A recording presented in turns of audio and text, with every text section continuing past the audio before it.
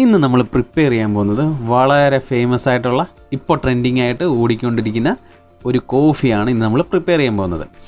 Coffee എന്ന് പറഞ്ഞാൽ കൊറിയക്കാരുടെ സ്പെഷ്യലായിട്ടുള്ള Dalgona coffee നമ്മുടെ ഈ ഡാൽഗോണ കോഫി തയ്യാറാക്കാൻ വേണ്ടി നമുക്ക് വേണ്ടത് കോഫി പൗഡറാണ് അപ്പോൾ അത് ബ്രൂവിന്റെ ആവാം നെസ്ലയുടെ ആവാം ഏതിന്റെ വേണമെങ്കിലും കോഫി പൗഡർ നമുക്ക് എടുക്കാം. അപ്പോൾ ഇവിടെ നമ്മൾ യൂസ് ചെയ്തിരിക്കുന്നത് ബ്രൂവിന്റെ കോഫി പൗഡറാണ്. അതിൽ നാല് സ്പൂൺ കോഫി പൗഡറാണ് നമ്മൾ ഇട്ടിരിക്കുന്നത്. അടുത്തായിട്ട് നമ്മൾ അതിലേക്ക് ചേർക്കാൻ പോകുന്നത് പഞ്ചസാരയാണ് ഷുഗർ.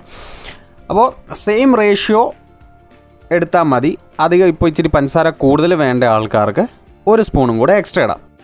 നമ്മളിവിടെ നാല് സ്പൂൺ കോഫി പൗഡറാണ് എടുത്തിരിക്കുന്നത്. ഒരു ലേശം പഞ്ചസാരയും കൂടെ മധുരം കൂടെ കൂടുതൽ വേണ്ടത് കൊണ്ട് അഞ്ച് സ്പൂൺ പഞ്ചസാരയാണ് നമ്മളിതിലേക്ക് ചേർത്ത് കൊടുക്കുന്നത്. അതിന് ശേഷം നമ്മൾ ചെയ്യാൻ പോകുന്നത് ചൂടുവെള്ളം. നമ്മൾ ചൂടാക്കിയ വെള്ളം ഈ സെയിം ക്വാണ്ടിറ്റി റേഷ്യോയിൽ തന്നെ ചേർത്ത് കൊടുക്കുക. ഇപ്പം നാല് സ്പൂൺ കോഫി പൗഡർ എടുത്തിട്ടുണ്ട്. നാല് സ്പൂൺ ഹോട്ട് വാട്ടറും കൂടെ അതിലേക്ക് ചേർത്ത് കൊടുക്കുക. അതിനുശേഷം ഇതെല്ലാം കൂടെ നന്നായി നമുക്ക് മിക്സ് ചെയ്യണം. മിക്സ് ചെയ്യാന്ന് പറഞ്ഞാൽ ബീറ്റർ ഒരു ബീറ്ററും കൊണ്ടാണ് ഇത് തയ്യാറാക്കിയെടുക്കുന്നത്. ഇപ്പം നമ്മൾ ബീറ്ററൊന്നും യൂസ് ചെയ്യുന്നില്ല. നമ്മൾ നോർമലി കൈ കൊണ്ട് അടിച്ച് പതപ്പിച്ചാണ് എടുക്കുന്നത്. ഇപ്പോൾ ബീറ്റർ ഇല്ലാതെ എങ്ങനെ പുതിയ ട്രെൻഡി ആയിട്ടുള്ള ഡാൽഗോണ കോഫി തയ്യാറാക്കാമെന്നാണ് നമ്മൾ നോക്കുന്നത്. ഇപ്പം നമുക്ക് കൈ കൊണ്ട് തന്നെ അടിച്ച് പതപ്പിച്ചെടുക്കാം. നല്ലപോലെ ക്രീമി ആയിട്ട് വേണം നമുക്കിത് എടുക്കാൻ.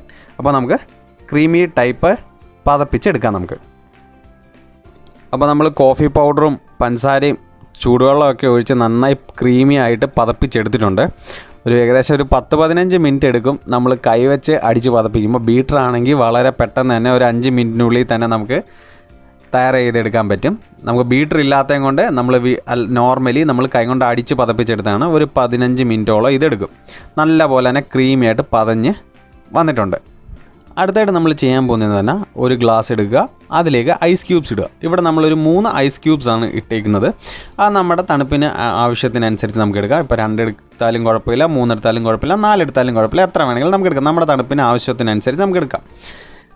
ഐസ് ക്യൂബ്സ് ഇട്ട് കൊടുത്തതിന് ശേഷം അതിലേക്ക് ഒരു ഗ്ലാസിന്റെ മുക്കാൽ ഭാഗത്തോളം പാൽ നമ്മൾ തിളപ്പിച്ച് ചൂട് ആറിച്ച പാലാണ് നമ്മളിവിടെ എടുത്തിരിക്കുന്നത്. ഇച്ചിരി തണുപ്പിച്ച പാൽ എന്ന് വെച്ചാൽ തിളപ്പിച്ച് കഴിഞ്ഞിട്ട് ആറിയ പാലാണ് നമ്മൾ എടുത്തിരിക്കുന്നത് അതൊരു മുക്കാൽ ഭാഗത്തോളം ഒഴിച്ച് കൊടുത്തതിന് ശേഷം അതിന്റെ മണ്ടയ്ക്ക് നമ്മൾ പതപ്പിച്ച് വെച്ചിരിക്കുന്ന കോഫി ക്രീം അത് അതിന്റെ ഗ്ലാസിന്റെ ബാക്കി ഭാഗത്തോട്ട് ഫില്ല് ചെയ്ത് നമുക്ക് കൊടുക്കാം. ഇത് ഫുള്ള് ഫില്ല് ചെയ്യണമെന്നില്ല. ഒരു സ്പൂണോ രണ്ട് സ്പൂണോ ഇട്ടാൽ മതി.